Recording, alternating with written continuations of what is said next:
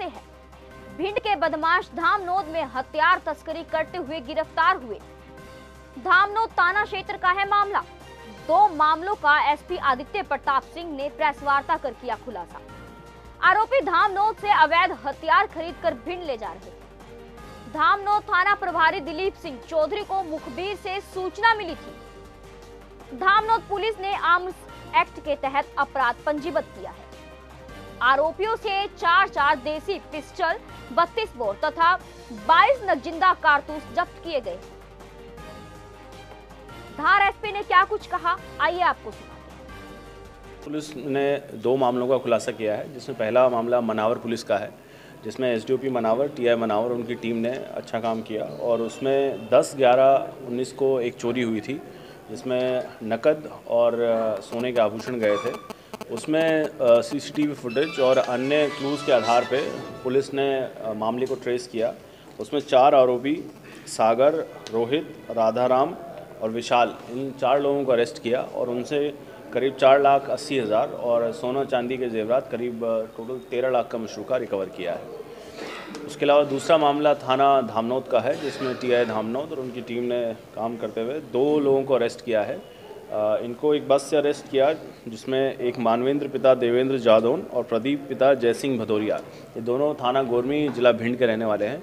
ये यहाँ पर एक हथियारों की खेप का की डिलीवरी लेने आए थे जिसमें इन, इनसे आठ पिस्टल और कुछ बुलेट्स जो है जब्त की गई हैं। और एक सिकलीकर है सतनाम जो लालबाग थाना धामनोद का रहने वाला है उनसे डिलीवरी लिए जो अभी फरार है। सर लगातार लालबाग क्षेत्र जो धमनोद का वहाँ पर इस तरह के अवैध हथियारों की शिकायतें मिलती रहती हैं वहीं से कई बार आरोपी भी पकड़े हैं।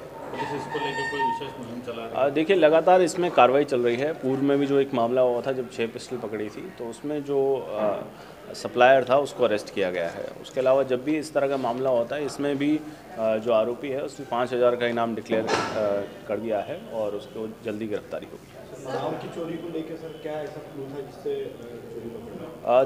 सी सी टी वी देखिए फुटेज में एक बाइक आई थी, जो एक लियो बाइक रहती है, उसकी लाइट्स और उससे आरोपी आइडेंटिफाई हुआ, जो सागर नाम का लड़का है, उसके पास इस तरह की बाइक है। और जब उस पर वर्क किया गया तो ये पूरा ग्रुप निकल के आया, इन लड़कों ने इसमें अपने यहाँ छोटे मोटे खर्चे निकालने के लिए इनके द्वारा चोरी की गई थी पर इसमें काफ़ी मशरूका इन लोगों को मिला और एक का फ़ोन का स्क्रीन टूट गया था तो वो ठीक कराना चाहता था। तो उसमें इन लोगों जो लोग आसपास बैठते थे उन लोगों को चिन्हित किया गया जब पूछताछ की गई तो ये मामला क्रैक हो?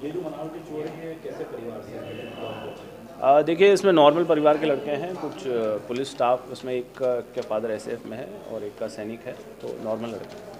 सर, उमरबन में आज बंद है उमरबन और चोरी को लेके पूरा गाँव बंद रखा है सर तो क्या मामला है? देखिए अभी तो बाज़ार खुल गया है। उसमें एक्चुअली एक सांकेतिक बंद था और उसमें कुछ लोगों का कहना था कि पिछले दिनों कुछ घटनाएँ हुई हैं जिसमें, जिसको लेके वहाँ के लोग चिंतित थे और एसडीओपी मनावर और टीआई मनावर वहाँ गए थे।